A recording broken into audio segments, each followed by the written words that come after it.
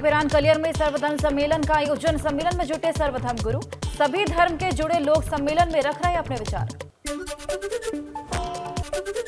महराजगंज में युवक की हत्या का खुलासा, तीन लोगों को भेजा जेल, आठ जून को संदिग्ध परिस्थितियों में मिला था शव।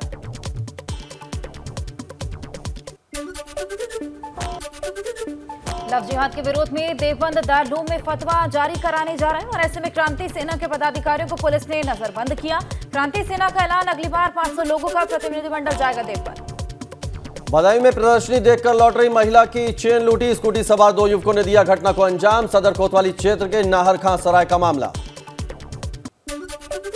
महोबा पुलिस लाइन में तैनात फॉलोअर के जहरीला पदार्थ खाने से हड़कंप गंभीर अवस्था में परिवार के लोग जिला अस्पताल लेकर पहुँचे। फॉलोअर की जेब से एक सुसाइड नोट भी बरामद।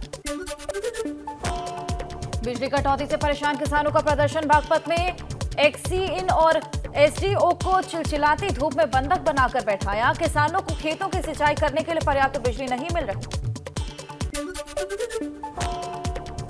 बागपत में किसानों का दावा, योगी आदित्यनाथ सरकार किसानों को हर तरह की सुविधाएँ उपलब्ध करा रही है। फ़सलों की सिंचाई के लिए पर्याप्त बिजली आपूर्ति। अखिलेश सरकार में ना तो बिजली मिलती थी और ना ही खेतों में सुरक्षा होती थी। गाजीपुर मनाया गया महाराजा सुहेलदेव का विजय दिवस। कैबिनेट मंत्री अनिल राजभर और ओम प्रकाश राजभर दिखे आमने सामने। मंत्री अनिल राजभर ओम प्रकाश राजभर पर जमकर बरसे। फरुखाबाद में पीडब्ल्यूडी मंत्री ने व्यापारी सम्मेलन का दीप जलाकर शुभारंभ किया। 200 करोड़ की लागत से बनने वाले गंगा नदी के पुल का भी शिलान्यास किया। जितिन प्रसाद का भगवान श्री कृष्ण की मूर्ति देकर किया गया सम्मान। हरदोई में डिप्टी सीएम ब्रजेश पाठक ने सपा पर साधा निशाना, कहा भाजपा में आखिरी पंक्ति में बैठा कार्यकर्ता भी प्रदेश अध्यक्ष और राष्ट्रीय अध्यक्ष बन सकता है। समाजवादी पार्टी में अखिलेश यादव का बेटा ही अध्यक्ष बनेगा। अंबेडकर नगर पहुँचे भाजपा प्रदेश अध्यक्ष भूपेंद्र सिंह चौधरी ने सपा पर बोला हमला, कहा समाजवादी पार्टी कंफ्यूज पार्टी है, उसका कोई स्टैंड नहीं है। गोंडा मध्य प्रदेश के उच्च शिक्षा मंत्री मोहन सिंह ने कहा कि मोदी सरकार के नौ साल में बहुत बड़े ऐतिहासिक काम किए और ऐसे में मोदी सरकार के नेतृत्व में आज अयोध्या और काशी मथुरा बन रही है।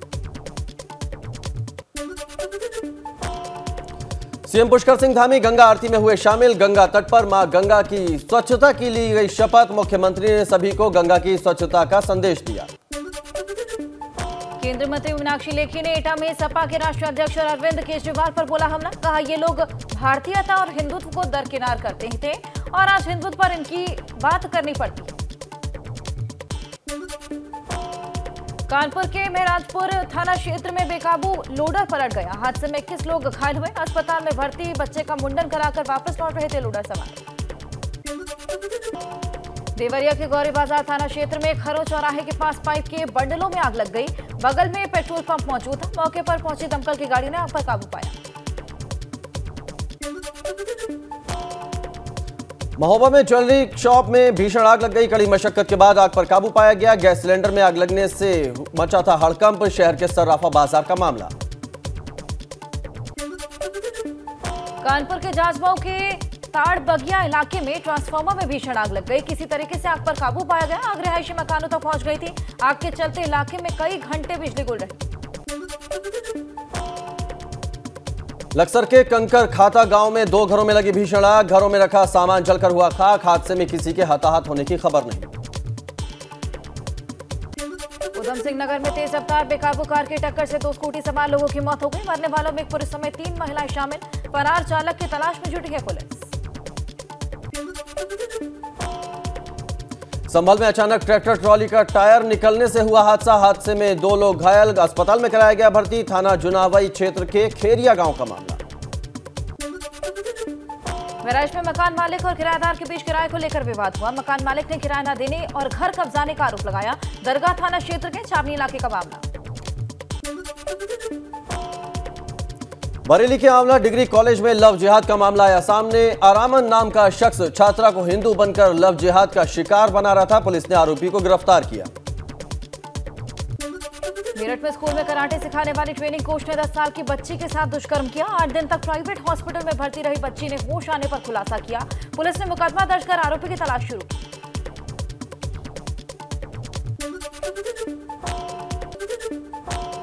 आगरा में वाहन चोरी की घटना का सीसीटीवी फुटेज सामने आया। चोरों से जब वाहनों के ताले नहीं खुले तो इलेक्ट्रिक स्कूटर पर हाथ साफ़ किया। थाना हरिपर्वत इलाके का बताया जा रहा है वीडियो।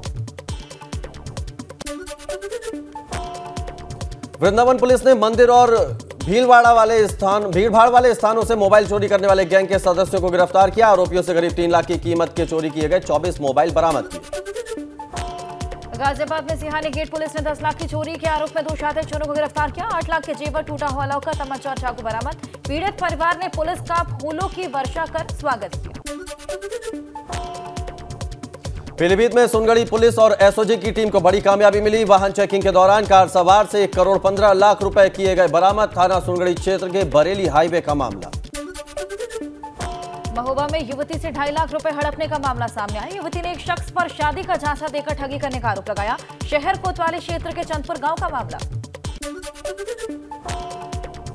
रामपुर में राहत चलते महिलाओं को बहला फुसलाकर जेवर लूटने वाले दो शातिर गिरफ़्तार। पुलिस ने बरामद किया लूटा गया माल। बातों में उलझाकर मोबाइल और गहने लेकर फरार हो जाते थे शातिर।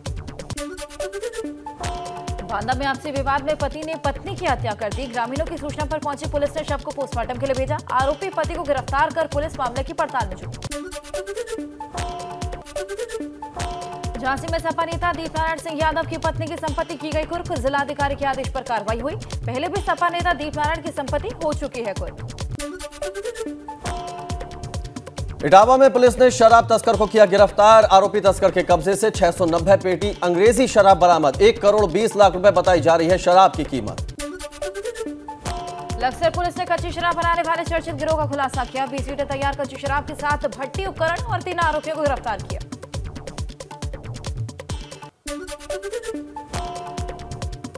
हमीरपुर डिपो की बस का वीडियो सोशल मीडिया पर हुआ वायरल। बांदा से हमीरपुर जा रही बस नेशनल हाईवे पर हुई खराब। यात्रियों के धक्के देने के बाद स्टार्ट हुई बस। बरेली में रेलवे की ज़मीन पर कब्जा कर बनी अवैध मजार पर कार्रवाई करने पहुँची रेल अधिकारियों की टीम। मजार तोड़ने का विरोध करने पर सैकड़ों लोग वहाँ पर पहुँचे। सांप्रदायिक मामला होने की वजह से आज नहीं हुई कार्रवाई। कानपुर में दबंगों से परेशान महिला ने कार्रवाई न होने पर थाने के सामने डाला डेरा। पुलिस कर्मियों ने महिला को कार्रवाई का दिया आश्वासन। आगरा के फतेहपुर सीकरी के किसानों को मिलेगी राहत। नई नहर निकालने को लेकर टीम ने निरीक्षण किया। किसानों को सालों से पेयजल और सिंचाई को लेकर समस्या हो रही थी।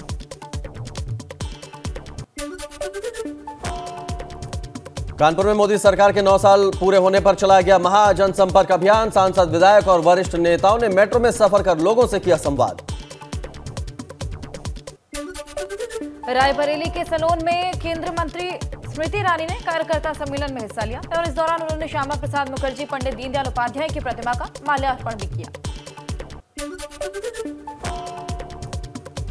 मथुरा में सुरक्षा एवं औषधि प्रशासन विभाग ने गोवर्धन क्षेत्र में की कार्रवाई। मुड़िया मेले में देश विदेश से आने वाले लाखों लोगों की सुरक्षा के चलते चलाया गया अभियान। मथुरा में बदमाशों ने दुकानदार से लूटपाट करने की कोशिश की। बदमाशों की फायरिंग में दुकानदार के हाथ में लगी गोली। घटना सीसीटीवी में हुई कैद। लखनऊ में बिजली चोरी कर रहे आरोपियों पर ड्रोन से नज़र। बिजली विभाग ने कई इलाकों में बिजली चोरी पकड़ी। ड्रोन को देखते ही बिजली चोरी छिपाने लगे थे आरोपी।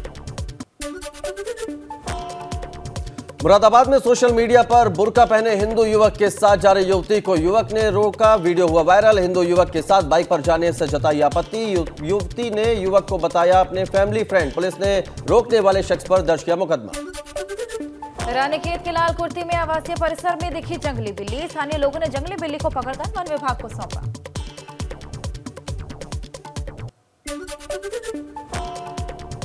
रुद्रपुर के किच्छा हाईवे पर फर्नीचर और पेंट की दुकान में भड़की आग। तीन फायर ब्रिगेड की मदद से डेढ़ घंटे की कड़ी मशक्कत के बाद आग पर काबू पाया। चंद मिनटों में दुकान बन गई आग का गोला।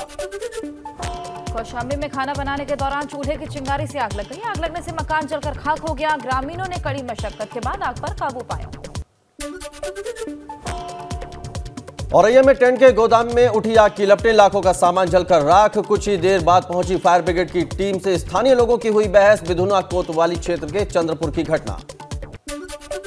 उन्नाव में मशीनरी स्टोर में भयंकर आग लग गई। सूचना देने के दो घंटे बाद भी नहीं पहुँची दमकल की गाड़ी। आग जगैन कोतवाली क्षेत्र के नवाबगंज कस्बे का मामला। कानपुर में बाँस की बनी दुकानों में आग लगने से मचा हड़कंप। एक दुकान में लगी आग ने कई दुकानों को चपेट में लिया। आग लगने की वजह साफ़ नहीं, कल्याणपुर थाना क्षेत्र की घटना। बरेली में बेकाबू टैंकर ने कार को जोरदार टक्कर मार दी। हादसे में छह से ज़्यादा लोग जख्मी हो गए। लखनऊ से हरिद्वार जा रहे थे कार सवार। टैंकर चालक फरार। फतेहगंज पश्चिमी थाना क्षेत्र की घटना। देहरादून के डोईवाला में पुलिस ने चार साल से कमरे में बंद युवक को किया गिरफ़्तार। चार साल से बंद कमरे में पाँचों वक्त की नमाज़ पढ़ता था हिंदू युवक। युवक के पिता की तहरीर पर हुई कार्रवाई। लुधियाना में एटीएम में कैश भरने वाली वैन चोरी हुई। लुधियाना के राजगुरु नगर में कैश वैन चोरी कर लुटेरे फरार। कैश वैन में करीब सात करोड़ रुपए होने की खबर। मुजफ्फरनगर में एक करोड़ पचास लाख की धोखाधड़ी मामले में तीन गिरफ़्तार। फर्जी पावर ऑफ़ अटॉर्नी तैयार कर कर बेच रहे थे ज़मीन। आरोपियों में सपा नेता भी शामिल। हापुड़ में चेकिंग के दौरान गोकशी करने वाले गिरोह के दो सदस्यों से पुलिस की मुठभेड़। गोली लगने से दो गो तस्कर घायल। पुलिस ने घायलों को अस्पताल में भर्ती कराया। मुरादाबाद के खाट थाना इलाके में चेकिंग के दौरान पुलिस और बदमाशों के बीच मुठभेड़ हुई दोनों तरफ़ से फायरिंग हुई। दो बदमाश और एक सिपाही घायल।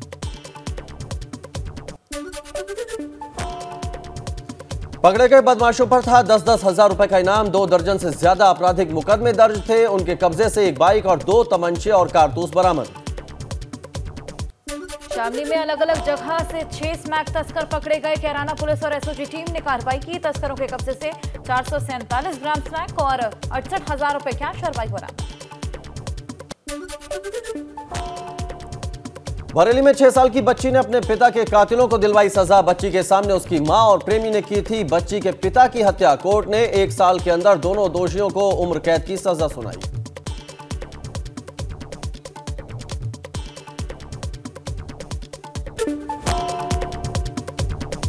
दुधवा नेशनल पार्क में बाघों की मौत पर सीएम योगी के बाद एक्शन में केंद्र सरकार। जाँच के लिए रिटायर्ड आईएफएस शैलेश प्रसाद के नेतृत्व में तीन सदस्यीय टीम गठित की गई। बाघों की मौत पर 15 दिनों के अंदर जाँच टीम सौंपेगी